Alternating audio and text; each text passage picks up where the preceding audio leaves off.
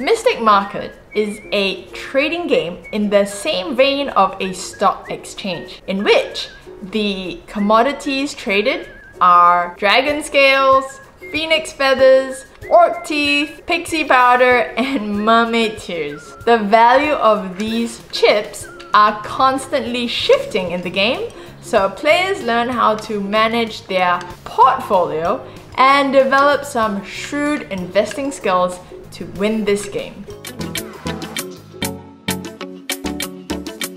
I'm Ly-ann and I want to inspire families to learn through play. If that's you, make sure to subscribe. Let's set this up for a two-player game. Let's look at the setup while we unbox what's inside. There are 66 ingredient cards, 5 of which will be laid out to form the ingredient market. 20 potion cards, of which we lay out 5 to form the potion market. Here is a value tracker. These dots tell you how much it costs to buy a single ingredient card from the market.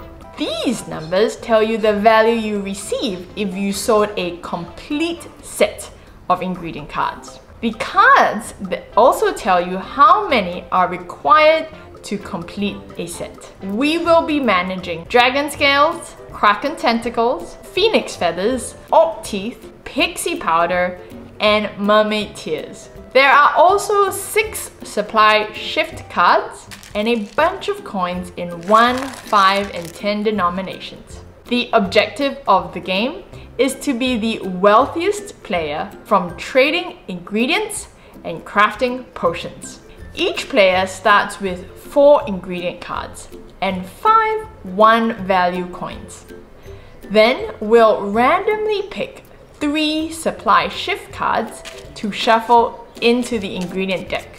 During a turn, a player may do one of the following. To buy a card, players pay the amount shown on the tracker to buy a specific ingredient on the market or pay two coins to buy one sight unseen from the ingredient deck. To swap, they exchange a card from their hand for one in the ingredient market.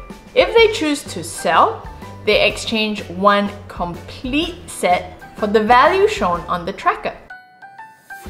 Then they shift its value up on the tracker. So now there is more supply.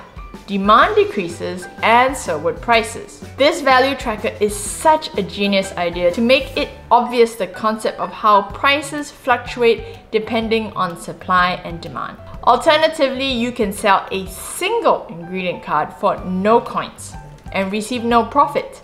But the ingredient vial for that item being sold into the market moves from its current position on the track to the top of the track. If we get a supply shift card, all the vials below that commodity are shifted to the top of the tracker one at a time. In this case, since mermaid tears were in low supply, they are now the most expensive to buy and will bring in the most returns when sold. The other action a player may take is to trade in combinations of ingredient cards that will bring them special abilities as well as profit. Here, a vial of dragon scale and orc teeth can be exchanged for an elixir of luck. This can be counted for 4 profit at the end of the game, or it can be used in place of another ingredient card when you need it. Now the potions functioning as sort of a mishmash of a hedge fund, a bond, you know something where you group a number of stocks together and you peg it to a price so it doesn't fluctuate as much as the market. When the last card from the ingredient deck is drawn, it is the close of day at the stock exchange. The player with the most profit at the end of the day is the winner. Real quick, Miss Game School updates that I wanted to share with everyone. I want to let you guys know about some free resources that we have made available on our website. You can download a list of all the gateway games that we have used in our game school for language arts, arithmetic, and thinking skills. there are more game lists covering different topics that will continually be added.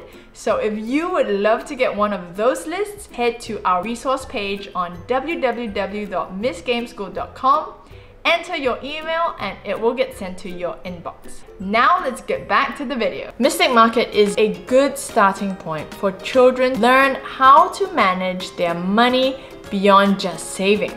As a game, it is a very low anxiety arena since no one is actually losing any money on the stock exchange and it's a safe space for children to experiment with different ways to approach generating wealth. What's particularly outstanding to me is the immediate feedback that children receive when they are experimenting. In a table game of 30 minutes, the gains and losses that they make are immediately tangible in their hands, which makes this game a great starter game to introduce financial literacy at a young age. If you are playing with really young players, I would keep it simply as a set collection game, selling to the market, and do without the supply shift and the potion cards. The main mechanics of the game is the stock market after all. Once kids are used to the shock factor of seeing a stock they had planned to sell suddenly drop in price when an opponent shifts the market, then I would add in the supply shift cards next the last ad would be the potion cards and then I would explain how I would use it to hedge against the market. I would recommend Mystic Market to every child old enough to play it. It is a very important game in my game schooling library to introduce kids to financial literacy and management. You can check it out in the links below. Thanks so much for watching. I hope you get to try Mystic Market real soon and I will see you in the next video.